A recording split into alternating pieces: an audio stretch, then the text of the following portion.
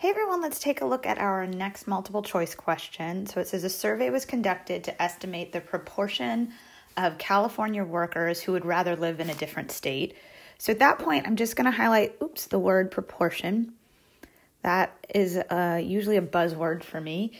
In a random sample of 100 California workers, okay, so I've got random sample, um, 28% indicate that they would rather live in another state. Okay. Oh, a 95% confidence interval for the proportion of all California workers who would rather live in a state another state is. Okay, so I've got my confidence interval. I can see that phrasing here. Again, they're reiterating that this is a proportion. So I'm going to put if this is a confidence interval problem, this is going to be a chapter 8 problem where we looked at one sample CIs for um, proportions or means, but we are in prop land. So ultimately, I'm going to use a z star critical value. Now, if I want to figure out my variable, there's a couple of ways to look at it, right? I have this sample of 100. So really, I'm keeping track over the course of this sample, the number of Californians who would rather live in another state. So, number of, and let me get this right California workers who would rather live in another state.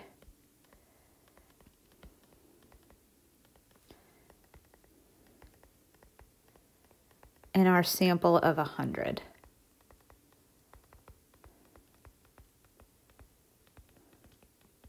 And because this is really, uh, well, it's a discrete numerical variable, it's ultimately starting from a categorical place, right? For each person you ask, they're either going to say yes or no. And then over the course of the sample, we're going to keep track of the number who say yes. And then we're going to turn that into a proportion, right? This will be the proportion of California workers who would rather live in another state. All right, and that's just how this always works with categorical variables, right? We we keep track of this frequency, the frequency of successes, we divide it by sample size, and then we get a proportion. But this is ultimately asking us to create a confidence interval. So I'm going to start with assumptions. And in theory, you don't have to do this because if I look at my answers, A through D, clearly they made the confidence interval, so I don't really need to check the assumptions to see if I'm allowed to, but I'm going to do it just because just for practice. So the first one in any CI or hype test is did I have a random sample? And yes, I did. Now in proportion land, we need to check normality. So I need to check NP prime and N1 minus P prime and make sure that they're both greater than or equal to 10. And my P prime here is 28%, right? So basically 28 out of these 100 folks said they'd rather live in another state. So I'm going to do 100 times 28% and I get 28, and that is greater than or equal to 10. And then its complement is going to give me 72, which is also greater than or equal to 10. So another way of saying that is when I took my sample of 100 Californians, 28 said I'd like to live in another state, and 72 said they didn't. Okay. The third assumption is always that sample size is small relative to my population. Now, my sample size, I'll, I'll do it over here. My sample size was 100. If I multiply that by 10, that's a thousand. Real safe to say there's at least a thousand folks working in California. All right, if I wanted to title this, and I might run out of room here, but this would be a one sample proportion Z star confidence interval. And if I want to actually construct my CI, it's always your statistic plus or minus a margin of error.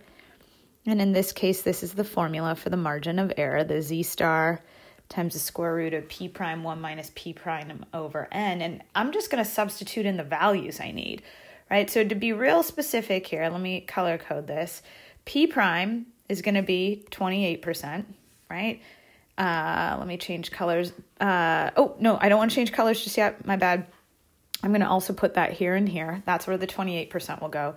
Uh, let me go to green. If I had 100 folks in my sample, I'm going to put that in for N. And then the last thing I need to figure out is Z star. Well, because I have a 95% confidence interval, I know my Z star value is going to be 1.96. So if I start to write this up, I'm looking at 28 plus or minus 1.96 times the square root of 28, 1 minus 28, or technically 0.28 uh, over 100. And I could crunch all of this on my calculator if I wanted to. Um, and when I say I'm going to crunch it on my calculator either way, I meant if you wanted to, you could find this number on your calculator, add it to 28 and subtract it from 28 and figure out where your lower and upper bounds fall. But I'm actually just going to go to the one prop z interval on my calculator and figure out what the answer is. Now I'm going to use the calculator app, but it's similar enough to how we would do it on the physical calculator. So I'll go over to tests and I have to head over to one prop z interval and it's down there at option A. So let me go ahead and enter this in. Now I had 28 successes out of 100 folks, right? Because I had a 28% um, success rate. And if you do N times P, that was 28 successes. They did say my confidence level was 95%. So let me hit enter here. So let me do 95. Ooh, JK, JK, 0.95. Let me hit enter. And for some reason, it is not working. That oh, I know why. Because I see my N is 28 also, this needed to be 100. Cool, just wanted to do that. Okay, so now I can see my lower and upper bound. It looks like it's about 19 or 0.192 to 0.368 for my lower and upper bound. So I'm just going to transfer that over. Let's see what we get. So, or let me see, I had, I think I said 0.192 to 0.368. And let's go ahead and match that up with B. All right. And just for fun, I'm going to show you if you wanted to do this the long way, and I don't know that I would really recommend it, but let me show you what I mean. So let's start with 28%, but let's find this number. Let's find our margin of error. And again, I'm going to use my calculator. Let me get out of this. So I'm going to do um, 0.28 times 1 minus 0.28, right? I'm going to divide that number by 100. All right, then I'm going to take the square root of that number, and I get that, oh, just kidding. And then I need to multiply it by 1.96, and that is my margin of error. It's 0.088. So let me head back here, right? So I would need to do 28 plus 0.088. Oops, let me write 088. And then I could do 28% minus 0.088. All right, and let's go ahead and just do one of these. So let me go ahead and do 0.28 plus 0.088. And you see there we are at 0.368, right? There was my upper bound. If I go back through this and change this to subtraction, there's my lower bound of 0.192.